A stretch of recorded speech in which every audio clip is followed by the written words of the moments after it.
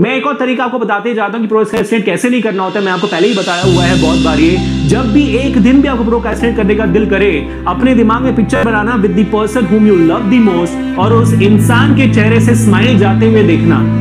एक दिन आपने मिस किया स्माइल कम हुई। दूसरे दिन का मिस किया स्माइल और कम हुई। तो ऐसे ऐसे प्रोक्रेस्टिनेट करते हुए आपके उस इंसान जिसको आपसे ज़्यादा प्यार था उसकी स्माइल जाते हुए देखना, क्योंकि ये एक्चुअली में होगा जब रिज़ल्ट आएँगे।